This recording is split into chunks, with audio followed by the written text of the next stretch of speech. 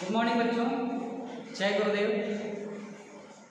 मेरा नाम जोगेश्वर ठाकुर है और मैं आप लोगों का हिंदी टीचर हूँ। बच्चों, पिछले कक्षा में आप लोगों ने क्या पढ़ा था? कुछ याद है? वर्णमाला।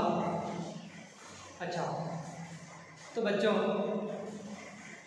पिछले कक्षा में हमारे साथी शिक्षिका नम्रता मैम जी ने पाठ एक वर्णमाला पढ़ाया था आप लोगों को। यस बच्चों? तो आप लोगों को क्लियर है बच्चों? समझ में आ गया वर्णमाला क्या है? यस क्या कुछ डाउट है? ओके तो आज हम पार्ट एक वर्णमाला फिर से रिवाइज करते हैं। जहाँ पे समझ में नहीं आया हो तो डाउट हो तो मेरे से पूछ लीजिएगा। आज फिर से एक बार हम वर्णमाला रिवाइज करते हैं। ओके बच्चों, आज नया चैप्टर पढ़ेंगे नहीं। उसी को पिछली क्लास में जो पढ़े थे, एक बार फिर से रिवाइज करेंगे। ओके तो बच्चों, वर्णमाला। वर्ण। वर्ण क्या है? वर्ण किसे कहते हैं? बच्चों, भाषा की सबसे छोटी रूप छोटी इकाई वर्ण कहलाती है।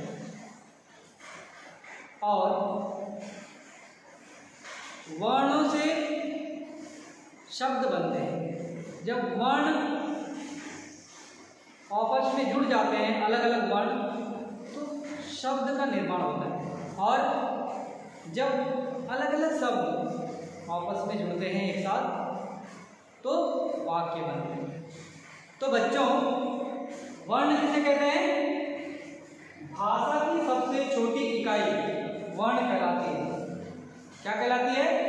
वर्ण।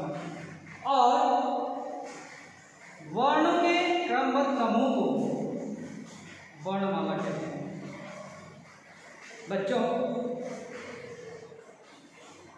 जैसे कि आप लोगों ने फूल देखा होगा, फूल, जो पूजा पाठ या मंदिरों में चढ़ाते हैं। बगीचे में जो फूलते हैं, पौधों में जो फूलते हैं, जानते हैं, देखें? अच्छा बताइए, आप अलग अलग पौधों से अलग अलग तरह के फूल को तोड़कर लाए और एक धागे में सारे फूलों को गुथ दिए। क्या किए? गुथ दिए। तो क्या बना? माला। क्या बना? माला। जैसे आप लोगों दिख रहा होगा। ये अलग अलग फूलों को यहाँ पे धागे में हमने गुथ तो ये क्या बना? फूलों का माला बना। फूलों का माला। बच्चों, उसी तरह से अलग अलग वर्ण को एक कतार में, एक सीक्वेंस में, क्रमबद्ध से लिखते हैं। तो क्या बनता है? वर्ण माला। क्या बनता है? वर्ण माला। यस बच्चों, समझ में आ गया? क्लियर है भाषा की सबसे छोटी इकाई वर्ण कहलाती है और वर्ण के क्रम समूह को वर्णमाला कहते हैं अंडरस्टूड बच्चों। ओके तो आइए बच्चों